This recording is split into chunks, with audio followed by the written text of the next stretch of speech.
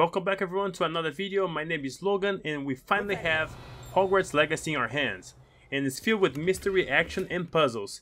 In this video I will show you how you can unlock these puzzle doors in Hogwarts Legacy. If you roam around Hogwarts exploring the different locations of the castle and find these doors, this might look kinda confusing at first but it's very simple.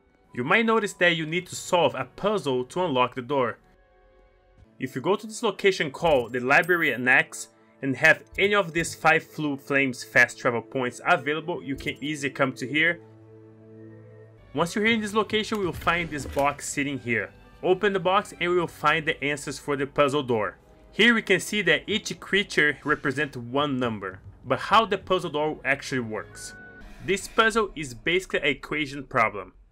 Each creature around the frame of the door represents a number that is in the document you just found starting from 0 to 9 from the left to the right. You need to solve the two equation problems to be able to unlock the door.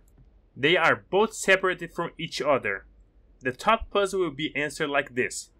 So the first puzzle on the top we have the total value is 17. So you need to match that result. The first value we have is 6, then we have this creature that represents the value of 5, giving us the total of 11. So now we need to find which creature is the worth of 6.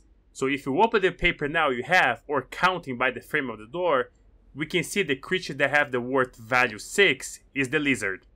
Now we have the answer, go to the left and scroll the dice and select the lizard. Now we will do the same thing for the second puzzle. The total value for the second puzzle is 8, and we have 0 as the first value, and we have the crab creature that is worth 7. And now we need to find the creature that is worth 1, which is the unicorn. Once you put the correct answers in both sides, press the interactive button of your keyboard or controller and the door should open. And this is how you unlock all these puzzle doors around Hogwarts. If you enjoyed the video, please smash the like button and subscribe to help the channel grow and turn on the notifications so you can receive all new tips and tricks for Hogwarts Legacy. Thank you for watching to the end, have fun, and I see you in Hogwarts.